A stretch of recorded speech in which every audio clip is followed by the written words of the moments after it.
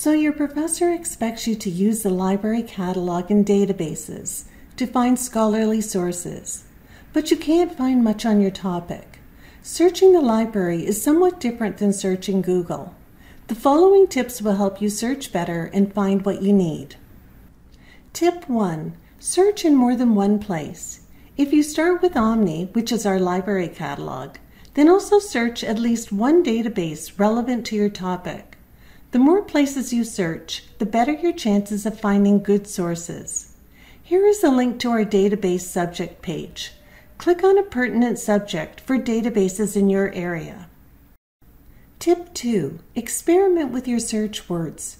Replacing a keyword with a similar one is one of the most important things to do if you can't find anything on your topic.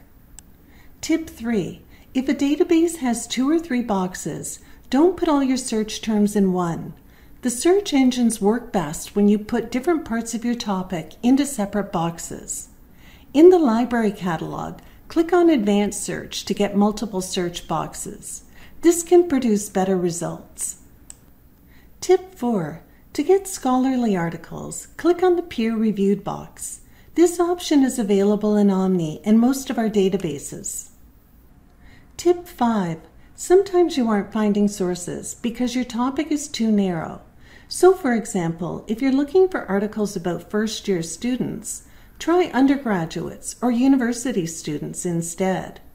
Other times you might find lots of articles about a topic, but they are about all different aspects of it. In this case, you need to focus your topic. Tip 6. Sometimes all you need is one good source to get you started. The bibliography of this source is a goldmine of other sources on the topic. To find if the library has these new sources, copy and paste their titles into the library catalog. Tip 7. Save yourself some time by asking a librarian to assist.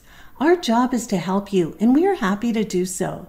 Here is the list of the librarians for each subject area.